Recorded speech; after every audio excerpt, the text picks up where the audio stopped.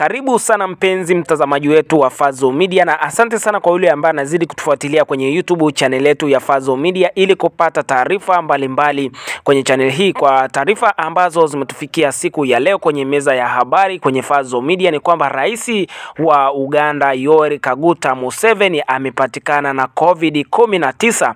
Rais huyo wa Uganda Yoweri Kaguta Museveni amesema ameambukizwa COVID-19 baada ya moja ya vipimo vitatu vilivyofanyiwa uchunguzi kubainika kuwa na virusi vya korona.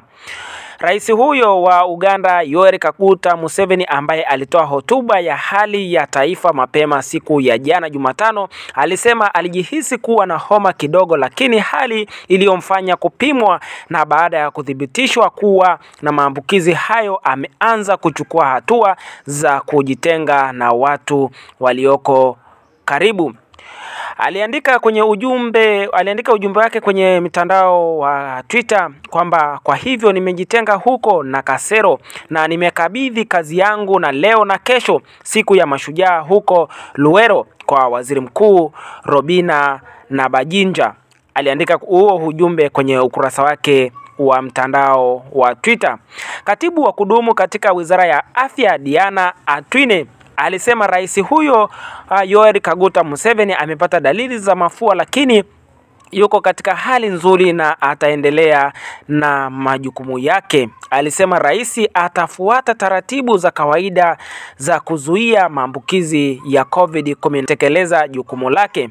Uganda ilikuwa miongoni mwa nchi za barani Afrika zilizochukua hatua kali kudhibiti kusambaa kwa virusi vya korona wakati wa kilele cha janga hilo ikiwa ni pamoja na amri ya kutotoka nje kwa muda mrefu na kufungwa kwa shule na biashara. Nchi hiyo iliondoa vikwazo hivyo mwezi Februari mwaka jana elfu mbili na ishirini na mbili. Mpenzi mtazamaji wa Fazo Media, ni kukumbushe tu kama ni mara yako ya kwanza, usisahau kubonyeza neno subscribe, kisha unaweza kubonyeza alama ya kengele itakayotokea. Pia unaweza ka like uka comment kutoka mwanafamilia wa Fazo Media ambao tutakuwa pitwi na taarifa mbalimbali ambazo tutakuwa tunakuwekea hapa kwenye chaneli hii ya Fazo Media.